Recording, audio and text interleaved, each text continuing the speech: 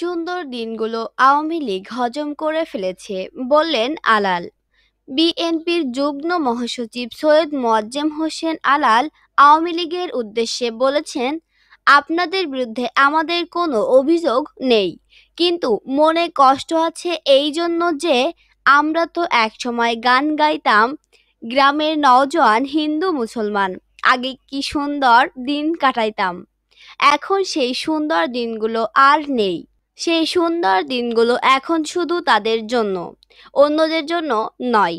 আজ রোববার জাতীয় প্রেস ক্লাবের সামনে বাংলাদেশ হিন্দু বৌদ্ধ খ্রিস্টান ছাত্র যুব ফ্রন্ট ঢাকা মহানগর আয়োজিত সংখ্যালঘু নির্যাতনের প্রতিবাদে এক মানববন্ধনে জাতীয়তাবাদী যুবদলের সাবেক সভাপতি এসব কথা বলেন।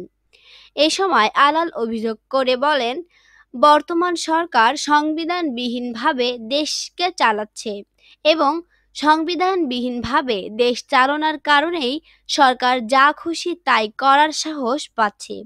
তিনি বলেন, সংখ্যালঘুদের পাশাপাশি ধর্মের দিক থেকে যারা সংখ্যাগুরু, তাদের বিষয়েও সরকার উদাসীন।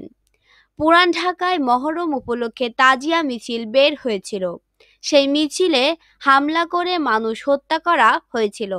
আজ পর্যন্ত সেই হত্যাকাণ্ডের বিচার হয়নি। সেই হত্যাকাণ্ডের তদন্ত রিপোর্ট এখনও পর্যন্ত পাওয়া যায়নি। কয়েক বছর আগে চ্যানেল আই এর একজন উপস্থাপক মাওলানাকে হত্যা করা হয়েছিল। সেই হত্যাকাণ্ডের তদন্ত এখন পর্যন্ত জমা হয়নি। যুবদলের সাবেক এই সভাপতি বলেন, এখন কোনো মানুষের জীবনের সামান্যতম নিরাপত্তা নেই। মানুষকে নিরাপত্তা দেওয়ারই প্রয়োজন অনুভব করে না এই সরকার। রামুতে কি হয়েছিল সবার মনে আছে? তার কোনো বিচার হয়নি। এই সরকার রাজনৈতিকহীন উদ্দেশ্যে সবাইকে ব্যবহার করে। যখন যাকে প্রয়োজন তখন তাকেই ব্যবহার করে।